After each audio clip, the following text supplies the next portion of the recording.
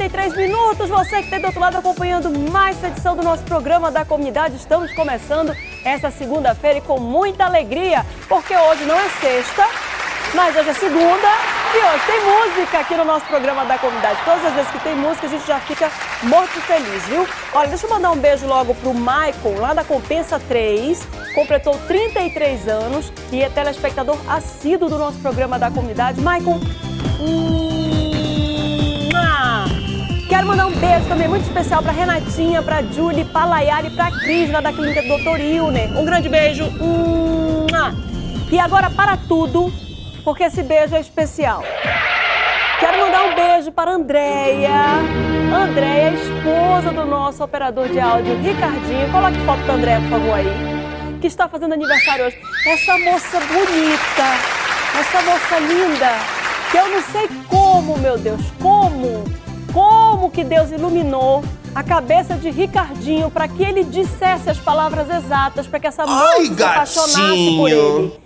Não entendo. Tem determinados encontros nessa vida que são espirituais, realmente. A gente olha assim e não entende. Mas Deus sabe os motivos. Parabéns, Andréia. Você que aguenta esse monte de cabelo na sua casa, né? Porque sabe que Ricardinho é peludinho. Acredito, claro. Foi muita oração. Foi muita, muita oração. Tô muita. passada. Aí esta pessoa vai lá com a máquina zero, tem que depilar o menino todinho, né? Pra não sujar muito a casa. Parabéns, Andréia. Muita alegria e muita felicidade pra você. Corta aqui pra três. Fecha aqui. Salvei, hein, Ricardinho? Salvei. Mas não se acostuma, Uma não, ameaça tá? foi detectada. Vamos lá, vem cá, Carlinhos, vem cá. A gente tem hoje o bolo da vovó Tereza aqui. Esse bolo que já estava sendo tentado, até o Taí estava aqui querendo comer esse bolo.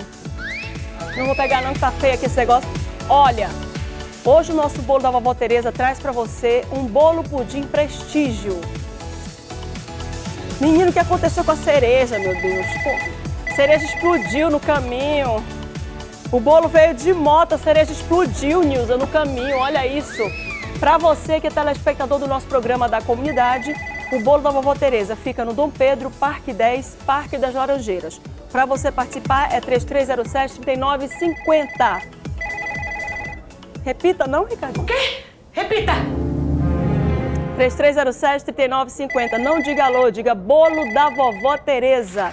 A primeira casa de bolo caseiro da cidade. Tá aqui, ó tá? Tem três endereços para você que está aí do outro lado. Fica ligado, hein? 3307-3950 é o telefone para contato para você levar esse bolo para casa. Vamos para os destaques do nosso programa de hoje, é isso? Não, não, pera lá, que tem promoção. Gente, olha só que eu vou trazer para você. Começou a promoção Ano Novo com pé direito. E você pode ganhar a pintura completa da sua casa e mobília para iniciar o ano com a sua casa de cara nova.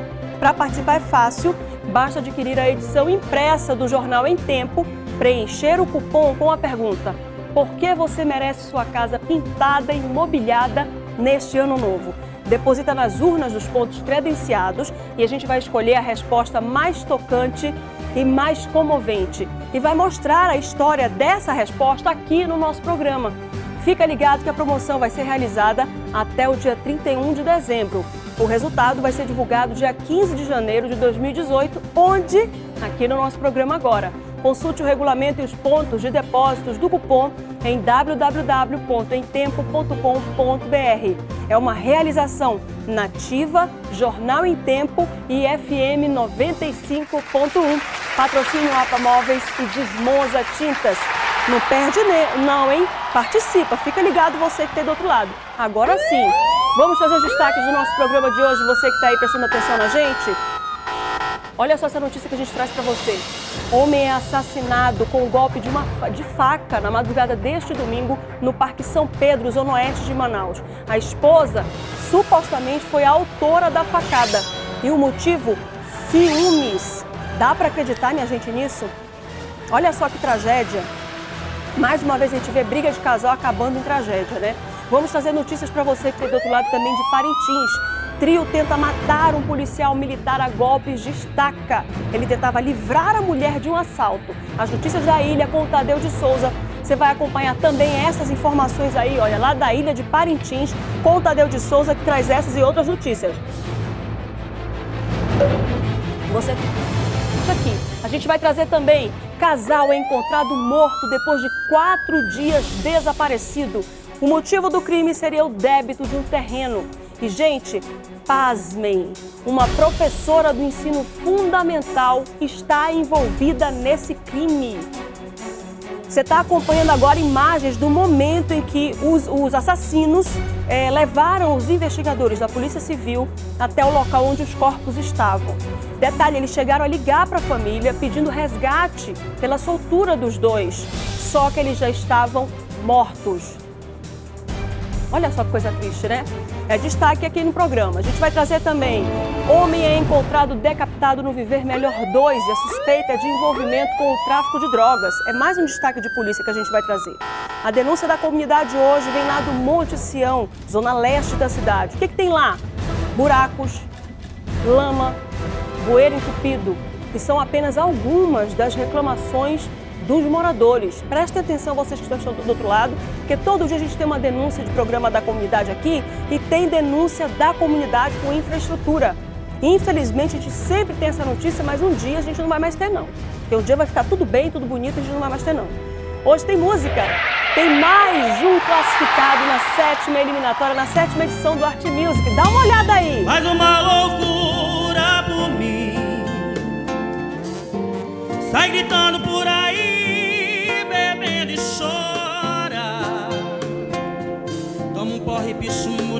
Adora.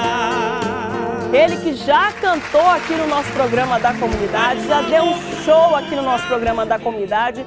Sempre canta Alcione, sempre homenageia Alcione e ele está hoje aqui vai cantar pra gente também, viu? Você que está do outro lado, fica ligado porque o programa da comunidade já começou.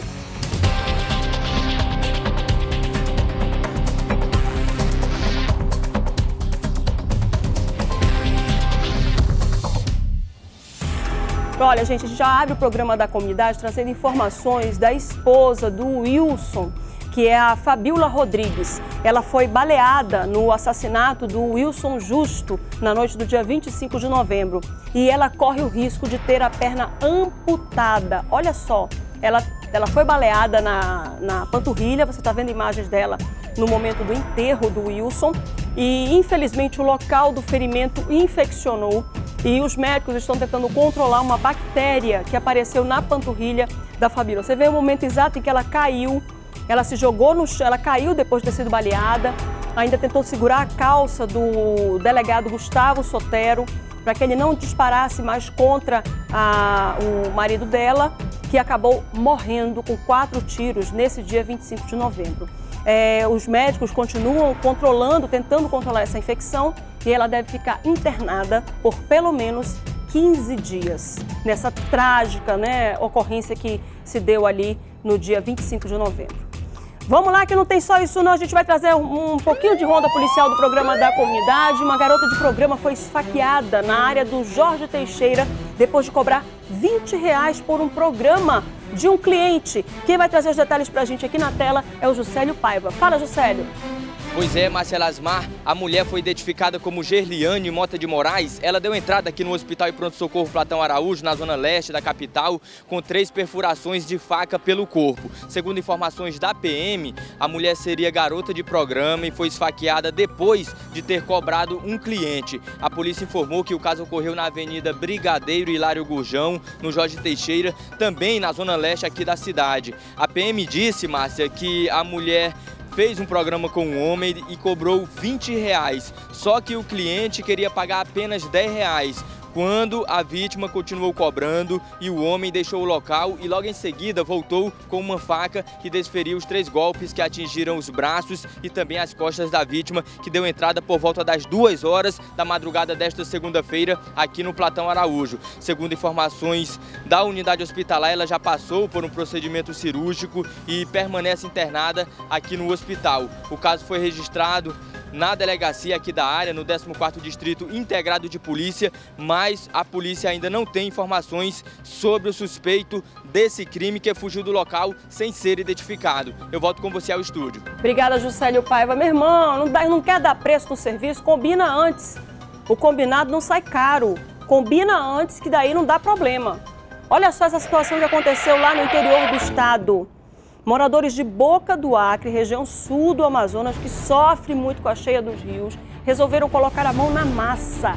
Cansados da falta de infraestrutura da cidade, eles fizeram um mutirão, se reuniram e criaram o projeto Amigos de Boca do Acre.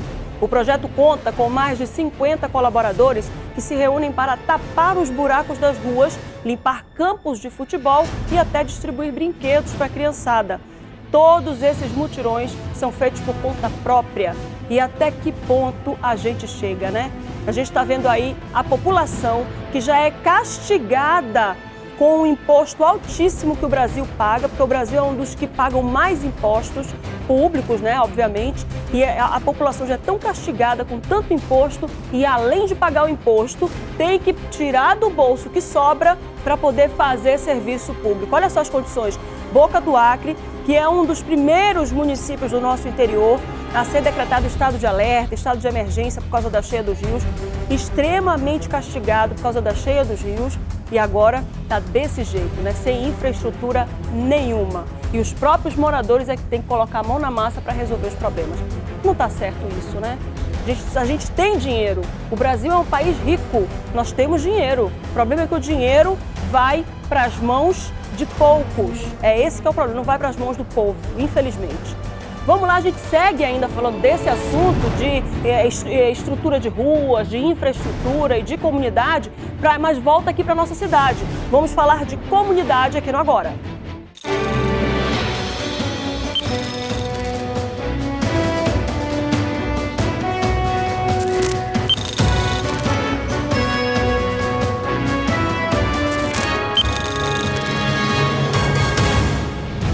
Você viu aí nas imagens de Boca do Acre que tinha muito buraco, muita lama lá, né? Aqui em Manaus também tem, lá no Monte Sião. O Fred Rocha foi até lá para poder acompanhar a denúncia dos moradores, a denúncia da comunidade. Buraco, lama, bueiro entupido, ou seja, tudo aquilo que a gente vê que falta na comunidade e que a, a, com isso acaba trazendo a falta de dignidade para essas pessoas. A denúncia da comunidade hoje vem do Monte Sião direto para a tela do Agora. Fred.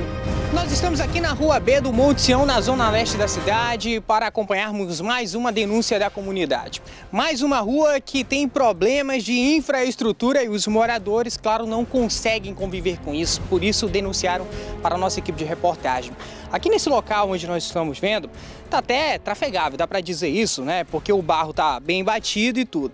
Aí você pensa, a prefeitura veio aqui, fez um trabalho preliminar para depois vir e concluir negativo. Quem fez esse trabalho aqui foi um morador que cansou de ver à frente da sua casa numa situação realmente de calamidade, com a questão da chuva, com a questão da falta de trafegabilidade aqui, e aí decidiu tirar o barro de um lugar e colocar aqui, ó. Os moradores estão ali acompanhando aqui o nosso trabalho e a gente vai chegar até eles. Seu Henrique, foi o senhor que cansou de ver aquela situação e decidiu colocar o barro ali, não foi isso? Sim essa vizinha ao lado começou a desmontar ali um pedaço e não tinha onde colocar o barro e a gente precisava para fazer esse negócio aqui, esse aterro. Aí resolvemos aterrar isso aqui, é onde as caçambas passam com muito peso, a qual está quase rachando essa casa aqui devido ao peso deles, que eles passam com, com muito seixo carregado e...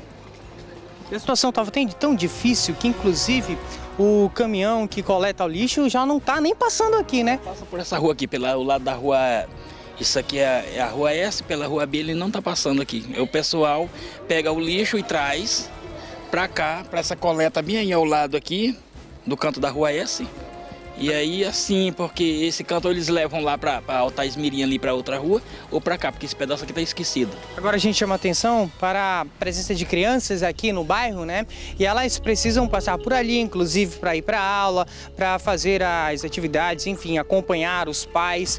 E fica bem complicado, inclusive porque a gente sabe que nos bairros, na comunidade, tem, tem não só crianças, como também, né, pessoas já senhoras de idade e que precisam, claro, de um lugar adequado para ir e vir, é o direito do cidadão. O caso da Dona Socorro, de 62 anos.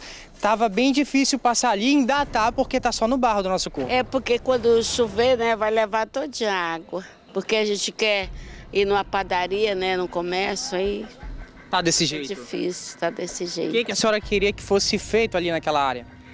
Ah, que eles fizessem um asfalto de qualidade, né? A senhora se lembra a última vez que a prefeitura veio aqui fazer um serviço de infraestrutura?